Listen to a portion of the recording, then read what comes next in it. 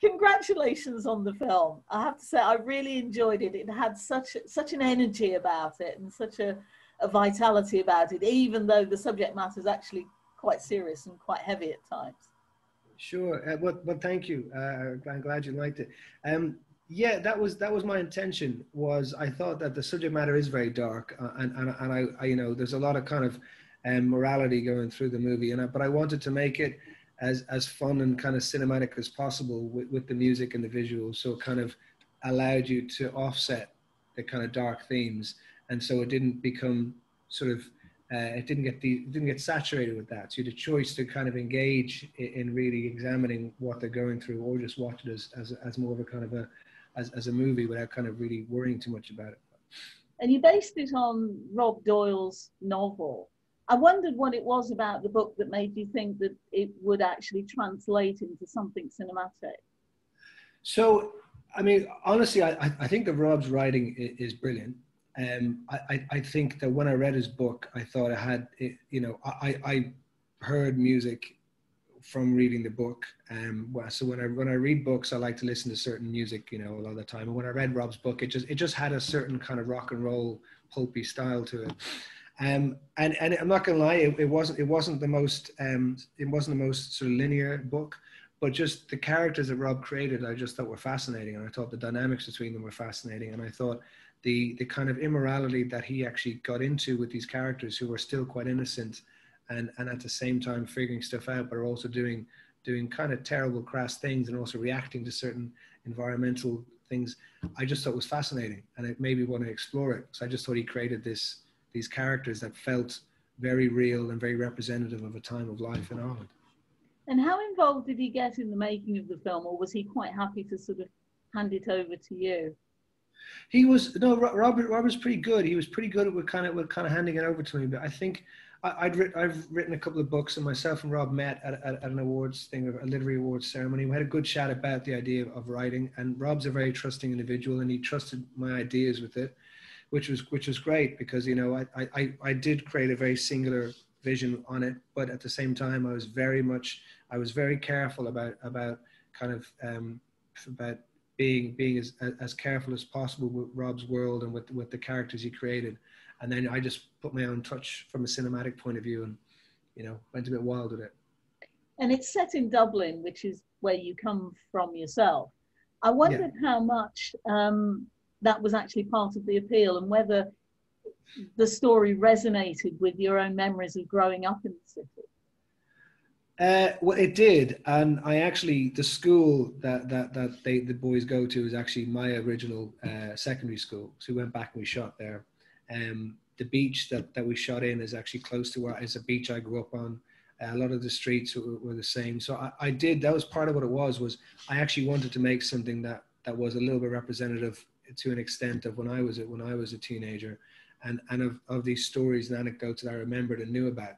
So that's kind of what I wanted to bring through with, with, with it. So how did it feel going back to your old haunts? I mean, particularly your old school. Uh, it was great because it got to go into the old school and then like windows, and I was like, "This is fantastic." I was like, you know, well, it, it, was well actually. So the character there's certain things which in the film the film aren't in the book and there's certain things in the book aren't in the film. Like it it, it, it is an adaptation but at the same time i was a little bit you know loose. Like the character mr um, i kind of sort of changed one of the characters to sort of fit a character that i knew from school and that had been in one of my books. So i tried to sort of bring my own my own um, uh, experiences and, and, and kind of uh, my own thoughts into into rob's books. It became a little bit of an amalgamation of that you know now you're an actor as as well as being a writer and a director and probably doing all sorts of other things as well. Um, what made you expand into those areas? Because you've not given up acting. Sorry, I've not been. A... You've not given up on acting. You're still doing that. Oh, no, well. I, am acting on a TV show right now in Australia. we, we start next week. Oh, um, yeah. So no, I, I honestly, I um, for me, I, I, I learned I, I started acting when I was in college, but I'd always been writing my whole life, and I wanted to I wanted to write books, and I wanted to write. And then when I learned how to act, uh, I started making films with with a couple of like indie films with a couple of friends in college, and then I just, for me, it, it, was a natural way that I could learn about acting was to also make films, and I just wanted to make stories. So I just learned about cinematography. I learned how to edit. Um, I got some great sort of mentors at the time, like the, uh, my, the very first film we made for for like you know fiver. The guy who shot it, he, he won an Oscar for this short film called Curfew a couple of years ago, and he's shot like seven Sundance films since. But we grew up together making films, so we just learned how to make things, and I just um, you know, learned how to make indie films, making mistakes. That was my film school for five or six years, just making really low budget movies that people might never see. I'd spend I'd spend hundreds and thousands of hours working on editing, doing the score, and, and then now I understand a bit better how to make a bigger movie because I've made smaller things and had fun doing it. So, how much does being an actor help you when you're working with your cast on a film? I mean, particularly on this one, does, does it mean that you're you're quite hands off with them and sort of leave them to follow their own instincts and get on with it? Uh, yes and no. I, I, I think I think that there's. I mean, I, I I'm. I think the main the main thing you do is is I think you you and it's what I like as an actor as well is that people people bring you on board of projects. They want to trust you to do your thing. And so I did the same thing. You want to trust people to create the characters and go, this this is your world now. And then I think that my job, and I think that that's what the actors have worked with, I guess, trust me in that is I just try and just just shift them in certain directions and just try and just kind of like you know you just try and subtly just push the performances or you decide in what way you want the pacing of the scene to go. But in general, you go, this is your character now, and, and you give it to them. And like, if I mean, if you give characters to people like Dean and Finn and Anya and Travis, you let them create those worlds, and then you just sort of dictate maybe the pace and some of the beats of the scene and just kind of guide it. But you kind of just, you know, you, you want to be complementary to what they're doing as opposed to, you know, this is, they're, they're, brilliant at what they do. So, you know. They are, they are. And, and the interesting thing I thought about this was that we're, we're used to seeing their faces already and they're actually a very young group of actors and they're also incredibly talented. But when you think that Dean Charles Chapman was in 1917, Anya Taylor Joy was in Emma. You couldn't get further away from the setting of your film. Now, I wondered why you actually chose the four of them. Were they, were they in your mind when you were writing the scripts? Uh, well, I, I mean, I, would met Dean. Uh, I mean, it, the, the, movie obviously took a couple of years to make, like every movie does. And I, I, met Dean when he was younger. And once I met Dean, I knew that Dean had to be this person. And then once I met Finn, I knew that Finn had to be that person. And I sort of, and then like when I met Ferdy, I knew that Ferdy had to be that person. So I kind of built. I wanted to build a dynamic. Collected them as you went on yeah, well, yeah, yeah, no, hundred percent. Because you know, I was like, okay, this person's going to fit in with this group, and like, and Anya is going to fit in with this group, and Anya and Dean also knew each other, and I was like, they're going to work really well together. So you want to kind of get a group of people that fit. There's no point just just getting actors arbitrarily. You want to get the right dynamic because every every film, sort of, you know, it, it grows, it works based off the you know the dynamic between your between your cast. And so I wanted to get that dynamic right. So that was the most important thing about casting. It wasn't just about finding someone who was like brilliant at playing a character. It's like, how are these four going to fit? And that, that was the kind of idea behind it. And that's, that's so important. I mean, how did you get them to actually build that? I was going to say relationship, but there are so many overlaying relationships and intersecting relationships. How did they go about that? Did they have much rehearsal time together or? No, we, we only had about a week of prep beforehand because it was a, it was this is a small little movie. We didn't have a huge amount of time, um, and we had a very small window with all these actors because, you know, once the movie finished, uh, Anya, Dean, everyone was going off to different projects, and we had to make it at the time we did because ideally we would have had it more longer to prep. It was like if we don't make this now, we won't have everyone like this. This is once off to get everyone at this time.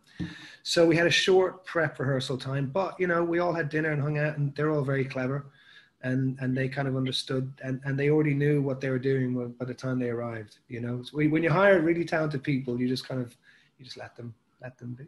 Just sit back and let them let them go as it were. Of course. So now of course you've directed yourself in some of your previous films but you're not in this one unless you put in a sneaky cameo and i didn't notice it. Uh, why uh, did you why did you decide to stay behind the camera for this particular film uh, well, there wasn't really any parts for me in this film, so that was the main thing. Uh, and, and the the only part that, that I could have played would have been the homeless guy Andy. But to be honest with you, I think Emmett Scanlan is, is a superb actor, so I wanted Emmett to play it. And it also, for me, it's not about the ego of playing a part. I was like, I think I thought he was a much better uh, actor to do that part than I was. So it was purely about who was best for the part, and that's what made sense. That's very modest of you. Well, it's it's true. It's it's you know that's that's that's got to be the way when you're making a film. It's like who's who's going to work for this and who who makes sense. You know, if if it had been if it had been, I, I did a movie in LA recently. I directed a movie called Grey Elephant, and um, I acted in that, and that was because you know uh, the part made sense for me to do that. I was like, well, this makes sense. You know, so I, I only if it makes sense. You know there were times in the film, I have to say, where I really started thinking of Trainspotting. One, one or two scenes in, in particular. I wondered if that was ever in the back of your mind when you were writing the script or making the film. Yeah, I, I think I think that whenever you make a film, because I love Trainspotting, and, and I think whenever you make a film that's about kind of you know coming of age or teenagers at that time period and, and they're doing they're doing drugs and alcohol that sort of and you, are trying to put together that type of soundtrack and i did but i did yes i did want to keep that energy especially in the opening so the opening of Trainspotting does have Ewan McGregor being chased and running and all that type of stuff and, and i and i love that so there was a little bit of an element of that when they're being chased by, by the by the thing. I did want to bring in certain elements. That I did the same with some of Spring Breakers. There's some there's some elements of the N in there which I loved, and um, and some Gaspar Noé stuff, and, and then there's some Bronson things and Romper Stomper. So I kind of wanted to. There's certain, you know, films that I was inspired by that I did sort of try and pull pull elements from. So Trainspotting was one of them in terms of the, the sheer energy that they bring through it, you know. So you're back to acting now. You're about to start a TV series. You said. That is correct. Yes. Anything yes. you can tell me about that?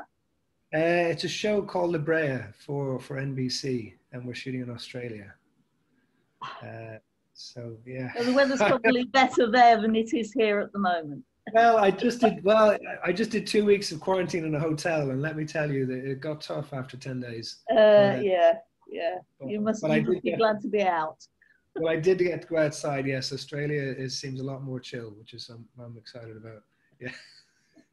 Wish you lots of luck for that. Thank you very much for your time, Eoin. It's been lovely to have a chat with you. And thank you very much indeed for the film as well.